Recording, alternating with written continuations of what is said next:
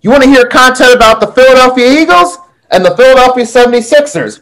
That's straight to the point, no nonsense, no over the top shenanigans. Say what we got to say and keep it moving. Then you made the right choice coming to Nicky Steez channel. So stay tuned.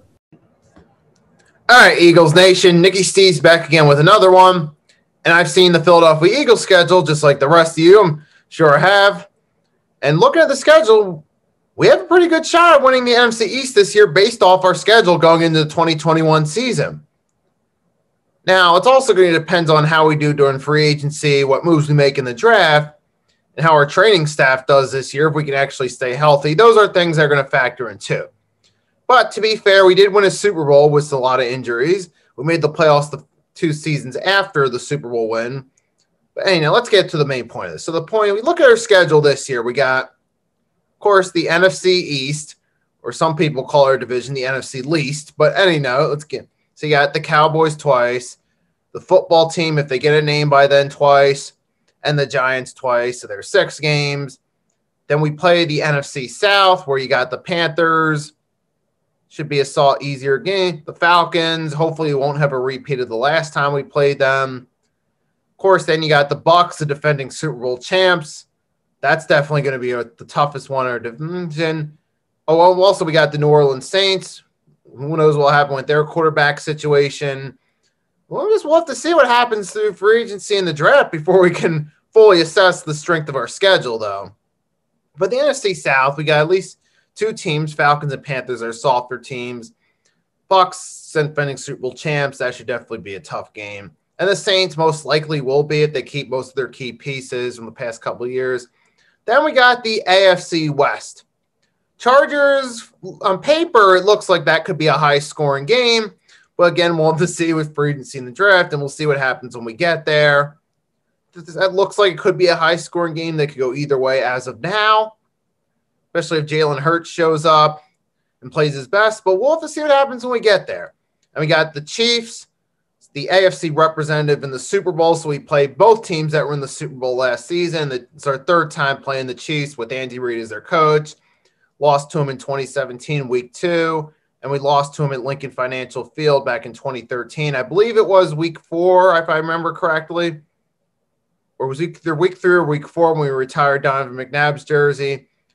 But I know that's definitely going to be a tough game. Then we do have the Broncos, which that should definitely be a easy game. Hopefully, we'll be in the Raiders. Well, uh, Raiders kind of eh, could go either way. I'm kind of curious because sometimes you get the good Raiders, then you get the bad Raiders. So I just want to see which Raiders team we face when we get there, and we'll have to see what shape we're in. It's really too early to tell, though. But anyhow, so then we got that that takes up at least 14 of our games. The other two games get the Detroit Lions. They finished in last place like we did in our divisions, respectively. Then we got the 49ers, which is a rematch from last year's game with all the injuries. Now, looking at the schedule on paper, we do have a relatively soft schedule.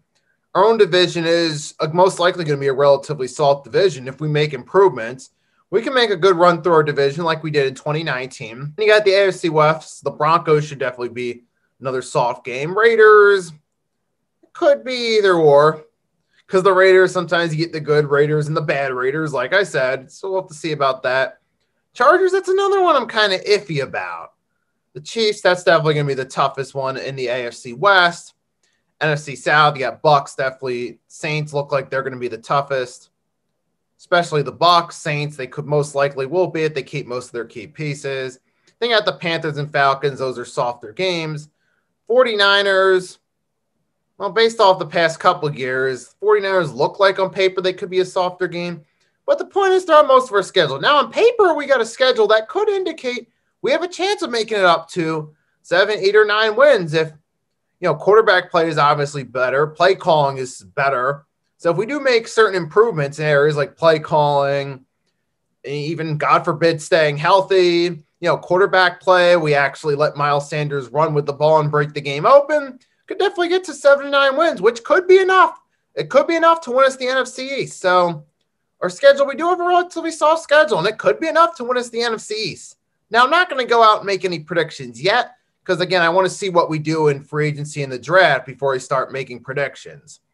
We still have to see what moves we're going to make there before I make any predictions. All I did want to do was give a brief run through of the Eagles' schedule and say, hey, based off the strength of our schedule, we could have a chance of winning the NFC East if we do free agency in the draft right.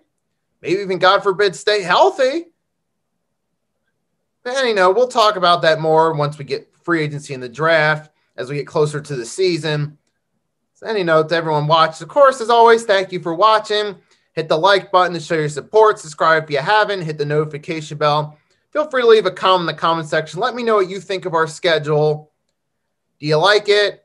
Do you think it could be, you know, a little bit challenging? Let me know what you think in the comment section about our schedule. And most all, everyone watching, have a wonderful day or night.